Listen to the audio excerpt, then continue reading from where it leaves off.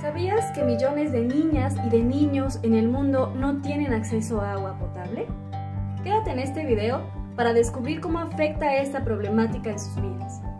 Imagina empezar el día sin acceso a agua para cepillarte los dientes.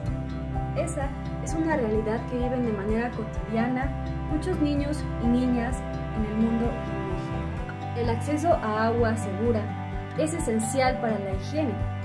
Sin ella, aumenta el riesgo de enfermedades que pueden afectar a niños. Además, muchas niñas y niños deben recorrer largas distancias para conseguir agua potable, tiempo que podrían pasar en la escuela aprendiendo y jugando.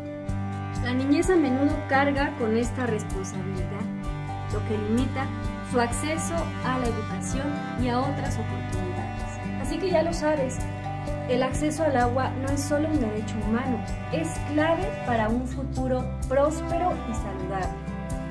Comparte para concientizar sobre esta realidad.